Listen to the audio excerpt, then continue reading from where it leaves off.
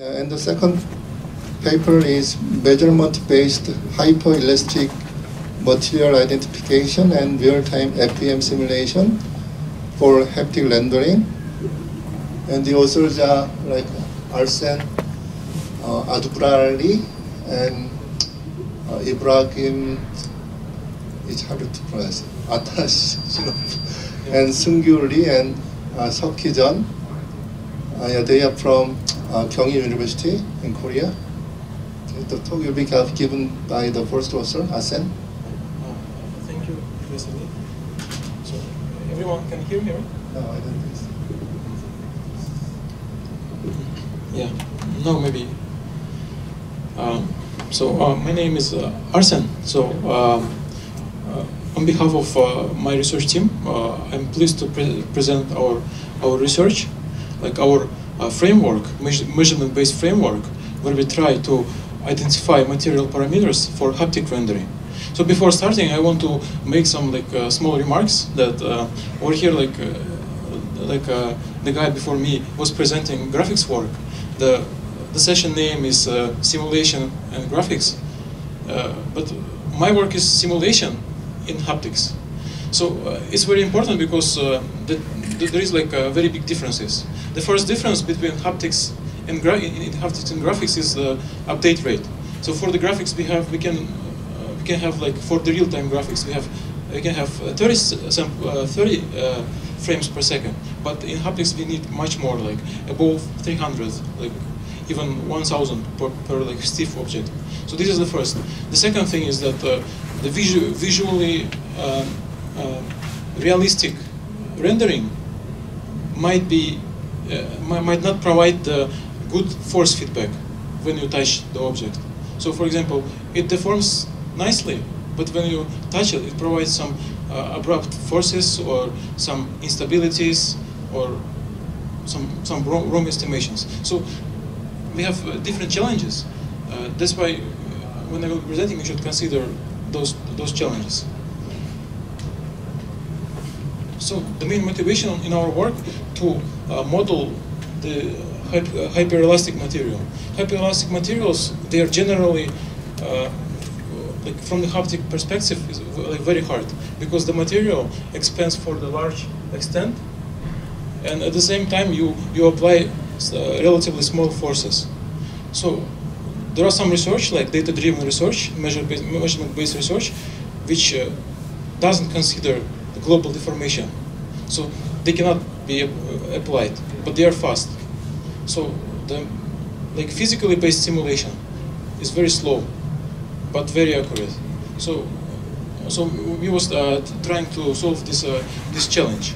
On the other hand, uh, uh the measurement-based uh, framework usually consists of like three stages. So it's like data collection and processing, like model identification and haptic and, and, rendering. So basically, the error uh, which during the collection will be there. Like then the error during the model identification will be there and the error during the rendering will be there. But eventually, the error should be not, percep not, not, not perceivable. It should be negligible for the user. It should be below than the uh, relative threshold of the, percep of the force perception, which is a JND level. So it's a quite challenging task. Uh, that's why like, uh, our work is kind of a first uh, dealing with this uh, hyperelastic material. And I think that uh, our work is quite successful. So uh, before going into the details, uh, even though our work is the first, so I want to briefly talk about the related works. So basically, in, in the field of haptics, the rendering usually is divided on two, as I said. The first is the action response mapping, and the second one is uh, physically based models. Actually, um, yeah, uh, the physically based models, there are different approaches, but uh, the mo most commonly used is uh, finite element methods. It is uh, the first, first of all, the discretization of the finite element methods is very convenient. So we discretize the, the mesh model into tetrahedrons. For example, finite difference method is like uh, not really good for the volumetric objects, and some other approaches like uh, mass spring systems doesn't provide uh, good uh, approximation. The finite element methods. Uh, I will be talking about finite element methods mostly when I, when I will be uh, saying about physically based models. So action uh, action response mapping actually uh, from the user's perspective is the most intuitive. So we feel the, the, the feedback when we touch the object. So we apply some action and then we are getting feedback. For example, when we're stroking uh, the, the finger over the surface, so we apply velocity and then we feel texture, we feel, feel friction. So when we touch the object, our, our finger goes into the object for some extent and we are getting the response. So it's uh, very intuitive. And the models basically are, are very fast. And depending on the, the, if you will collect the good data and if you will use good uh, approximation model, then you will get realistic feedback. But the problem again, that you cannot really consider the deformation of the object, right? So you, you cannot apply it to the large uh, deformation, like uh, like hyperelastic materials. That's why there, there's like these like limitations, and on the other hand, uh, like graphics cannot be supported, right? So the virtual reality cannot be with the, without graphics. You cannot like blindly touch the like surrounding. So it's like not really practical. The other, the other approach, on the other hand, is a physic physically based model.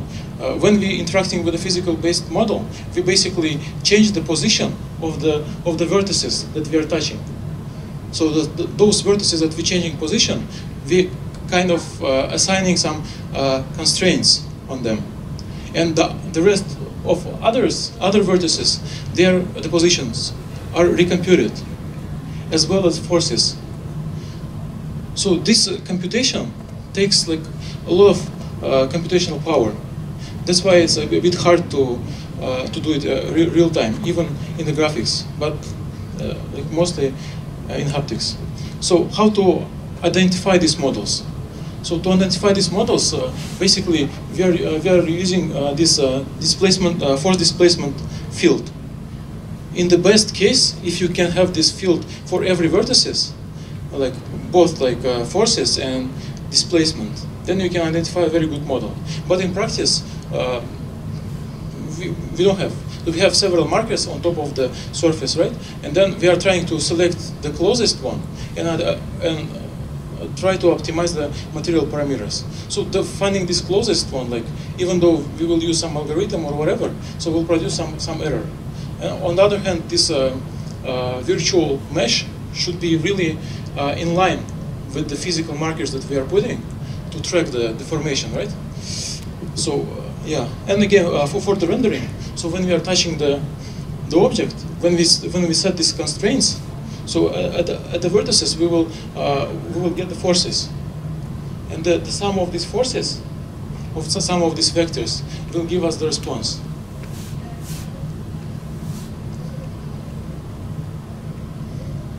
So, uh, like, uh, basically, we have uh, uh, two main challenges. The first challenge, like in, the, in, the, in data collection, which is like mostly used in graphics, is that when we when we palpate the object, so if the object is very soft, so the region of palpation usually deforms very close to the uh, to the tool, and basically we um, occlude the the interest region. So even though we can identify like visually realistic models, but uh, for haptics, even like small small error might produce like huge difference, right? On the other hand, this uh, uh, marker alignment. Also, we have to really like have, for example, if we are scanning one real object, and we have to have uh, exact match of the virtual, like exact the size and everything. Like. So we should uh, make some uh, reconstruction or whatever so we should have one, and we should align them properly. Otherwise, we will have again the the problem, uh, the, the error, and and and finally the, the the low update rate. So a lot of people uh, was trying to simplify the model. So when you simplify the model, usually you lose accuracy. So the model become becomes worse, much worse. So this is also thing. So th that's why like uh, basically uh, we have um, challenges in all three, three steps. The first one is like uh, so how to collect the, the data uh, without without this error, without this alignment problem, and without um, occlusion problem. Then uh, how to identify using the data, and then the rendering problem. It should be really really fast. So we are uh, trying to address like all these problems. Uh, so our, our main contribution is that. Uh, we are um, we propose uh, special spatial temporal deformation features they are mesh-free features. So we don't really consider the mesh itself. But uh, by deforming simple volumetric object, we, uh, we collect this, uh, these features and then we train the model. And uh, for, for, the rendering, we, uh, we integrated the uh, recent optimization-based framework, FEM framework, that computes the feedback in nearly real time for haptics. It's around like 300, uh, 250, 300 hertz. So uh, uh, let, let, me explain uh, the the data the data collection and the features that we we, we made. So to make uh, um, to collect the data, to propose the approach like mesh-free approach. So when we don't don't really consider the um, the mesh itself, then when, when we don't want to align the, the objects, we have to uh, use uh, like uh, some um, some formulation. So we use uh, the cylindrical object uh, because of uh, several nice properties. The first property that when we compress the cylinder, so the out the, the layer outer layer goes expands like away from the center symmetrically. It means that by compressing on the top, we can we can capture the deformation on the sides. So we, we will not really occlude anything. It's the, the, the first thing. The, the second thing is that uh, this nice nice property that, that every particle on on the side will will go away from the center and will go a bit down. So basically it, it, it moves into dimensional space. We can represent this deformation of, of, every, uh, of every level using two-dimensional two-dimensional vector, like into dimensional space. So basically, we, we can create the temp, like a spatial temporal features out of the deformation. So if you if you will see uh, this graph, so uh, let's say that uh, this marker in an initial state, when we compress the cylinder, it goes this way. So when we when we feed the, the plane onto this uh, onto this the data points, the plane crosses crosses the center of the cylinder. So basically, if we will, uh, we will collect uh, good data, all, all planes will intersect in the, in the one line. So it means that uh, we can detect outliers. For example, if one, um, one sample is, connected, is collected really like poor, for example, there, there was occlusion or there was some, some, some any other problem, we can, we can uh, easily detect which one goes out of this, uh, this line of intersection, and then we can exclude it. Yeah, um, so this plane, when we fit this plane and project all this point onto this plane, and put origin over here, we can, we can have this nice space of the deformation. So here, here is the real data that, uh, that we collected, and, and, and we, uh, we have uh, four, four level So we have uh, this uh, four, four, four level of, of markers. And basically, those, they, they make these uh, deformations, these deformation lines. So basically, it deforms this way. So basically, this, uh, actually some, something wrong happened. But anyway, so uh, this data we can we can convert into the into two matrices. One is a, a displacement uh, uh, axial displacement and radial displacement matrices. So where, where the, uh, the I, I column uh, means the time step and the uh, K, uh, K, uh, K column means the level of, of, the cylinder where the marker is situated.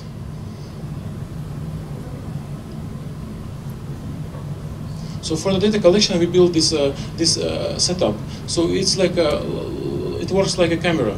So for example, when you when you're taking a picture, so you do one click and the picture is ready, right? So the, the system works uh, the, the, same way. So we have this uh, uh, like position tracking system. We have this uh, uh, this sample that we are targeting to measure. So and what what you have to do, you have to just click over here, and that's it. So one click and the data is collected. So you don't have to really tune any parameters. You don't have to like say that oh, so my my mesh will be this way or whatever. So it's just uh, you can take any any cylinder. So it should be cylinder. Like the shape doesn't, uh, the the size, the thickness, or the length doesn't matter because everything else is uh, uh collect, uh, computed automatically.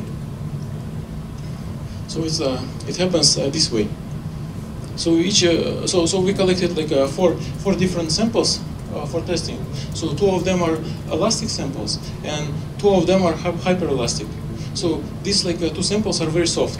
So this uh, EcoElastic, uh, EcoFlex gel is like like very soft, and this is uh, we put like 25% of thinner to EcoFlex uh, 30, so it became become also uh, very soft. And the other ones are uh, more more stiff. So to identify material parameters, so we we make this objective function. So objective function basically uh, uh, considers both shape and, and, and then response force.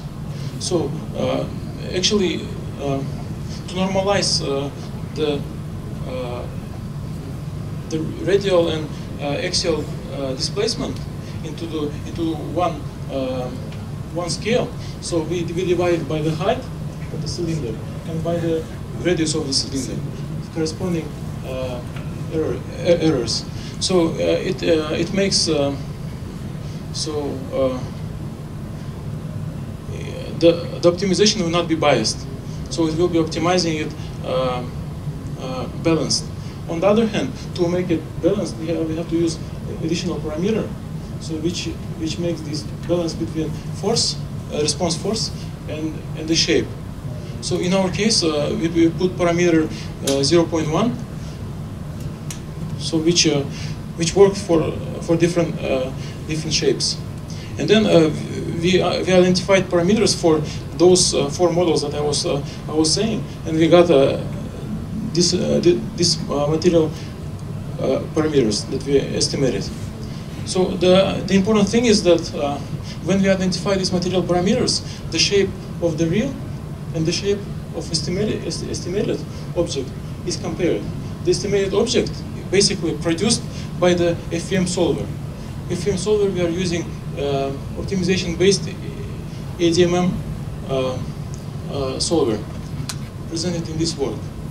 So basically, this one, this solver runs in every iteration computes uh, this uh, this vector in two matrices.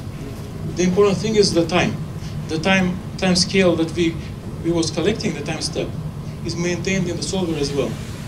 So the dynamics of the uh, uh, of these uh, particles maintained. So uh, what is the ADMM solver? Actually, uh, uh, it computes the deformation. So it splits the problem into two, two sub-problems. Like so, one is nonlinear, and another is linear. For each for each uh, tetrahedron, for each finite element, uh, the nonlinear forces are computed in parallel. So, for example, if you will have uh, um, like 500 uh, tetrahedrons, so we will, we will compute them in parallel. And then, in a global step, we kind of find the, uh, the balanced combination of them. So it's kind of iteratively we're, we're doing this uh, like 10 times approximately, and and then the result converges converges to the to the optimum. And uh, so to compute the force response uh, into uh so first what we should do we should uh, handle this collision with the with the object. So when we handle the collision, we push these vertices uh, on, on, the, on the boundary. So we set these uh, uh, constraints to sort of solver. And from, from the constraints, we are, uh, we are gaining these uh, Lagrange multipliers, which are involved in the global step of the ADMM optimization. Then we compute forces uh, using this, uh, this formula.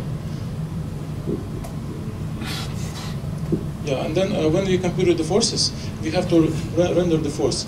The thing is that uh, uh, we cannot directly render them because we will have some uh, different instability issue. That's why we, uh, we assume that uh, the haptic probe has rigid dynamics, so it has some like small mass, and yeah. So basically, we simulate this uh, this haptic probe as a, as a rigid object and uh, the formable object, and target is the formable object. So. Okay. So.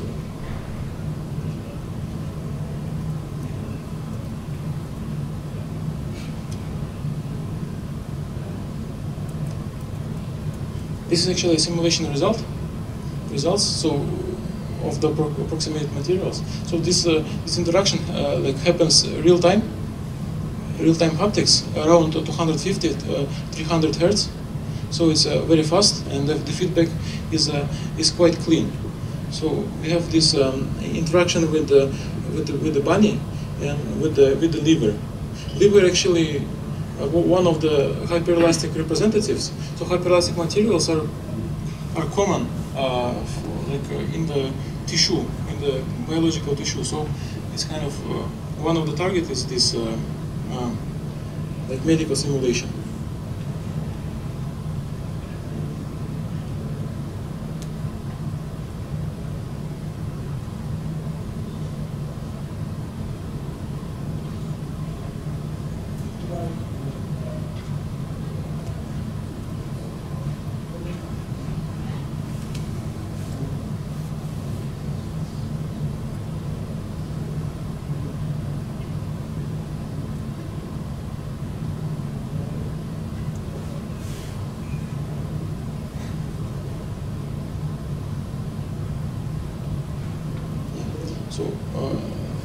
That deformation that you saw, so he, he, here is the results. So we have uh, uh, 632 tetrahedrons, and the, the, approximation time of each frame is uh, 3.3 uh, millisecond, which is around like, uh, like 300 to 550 like frames per second. And the, the forces that I was rendering, so they are they are here. So you can you can see that uh, so we, we applied that uh, rigid body dynamics, so we, we applied this virtual coupling, right? So to compensate some instability issue. And you can see over here the, the plot, where, where the red one is the after this filtering, and the, the blue one is before. So you can see that these blue uh, variations are really negligible in compared to the, to the filtered one. So, but still, this filtering is required because of this, uh, you will feel like texture-like effect when you interact with the object because of like this uh, small small jittering. This mainly happens, if you, if you can see, this mainly happens with, uh, on the compressive interaction. In the, um, in the tensile interaction, this effect really negligible. This happens because of the, uh, when we interact with the object, different uh, vertices are getting in contact. So they are kind of, uh, one is getting in and another is getting out. Or some uh, so because of this, uh, some uh, variation is, is happening. In, in case of tensile, we are just pulling vertices, and that's why this problem is not really visible. But uh, actually, it's not. It's really not negligible. So we uh, perform another experiment just, just to see if the, uh, the shape of the tetrahedron matters. So we uh, simulated um, like uh, different volumetric primitives and computed the time for uh, the different number of uh, tetrahedrons. So we got a very nice relationship. So it means that it's kind of linearly predicted. So if you if you if you know your computation power, you can adjust the resolution. For example, in the future, when the computers will be more powerful and uh, we will have more cores the CPU or on the GPU, so we can scale up the, this, uh, this algorithm and we can have a better resolution. So here is the, the, the, force, the force error that I was uh, mentioning in the beginning. So we, we collected additional data, set of data, and then we, uh, we applied the algorithm and measured the, the error. If you can see that uh, the, the for, for the elastic material, uh, the both, uh, both models that we used, so we trained two models, with uh, STVK and NeoHookean. So both of them are uh, showing like very nice results. So in, case of hyperelastic materials, so we, we see that the STVK uh, has better performance than NeoHookean. So the NeoHookean has uh, some some issues in in a different uh, ranges of forces. So the uh, future work. So we have uh, two kind of future work. The first future work is the uh, short-term future, short-term plan. It means that we have some uh, some some things that we wanted to, to include to this paper, but we, we didn't because of the size and because of the amount of work. So it is uh, basically we have to perform psychophysical experiment and we have to prove the realism because realism not, like uh, not because of the like only error. Realism is because of a lot of factors. We have to uh, see the realism like through psychophysical experiment. It's the first thing that we want to do uh, in the uh, short-term plan. So the other one is uh, we have uh, right now we are doing this GPU implementation and we would like to to compare like CPU and GPU based parallel processing. So we also have some interesting results. And then long-term plan is uh, we, want to uh, uh, estimate these elastoplastic material parameters. So if we will complete this one, we will we will basically have this big range of materials that we can we can measure, and then we will probably make a library. So we have a few, few limitations in this work. That uh, in this work, that first first one that is the the resolution is quite low for the graphics, but it can be uh, easily solved using some uh, real-time uh, mesh embedding techniques, which have been used like even before, before us. So and then um, heterogeneous materials, for example, the materials ha having different parameters. So basically, uh, for for that case, if we have uh, um, high quality material, some material, we can assign this material to other heterogeneous object using um, uh, using this uh, uh, yeah, using this pattern clustering technique. Yeah, thanks. Yeah. Thank you. We have like any question? We have a few minutes for Q&A.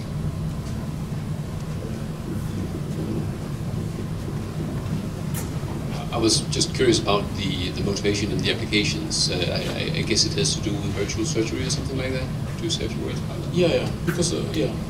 Um, actually, the hyperelastic materials, they're really common. Like this, uh, for example, different biological tissue and different rubbers that we interact with like daily. All of different objects, they actually, actually have these uh, hyperelastic properties, but we couldn't really render it before because of these different issues. So yeah. So actually, we have a wide range of, applications, and one of them is this uh, uh, surgery, like uh, virtual like, the training. Okay. Any other question? That time's up. We understand again. At this point of session, I think the next session will continue.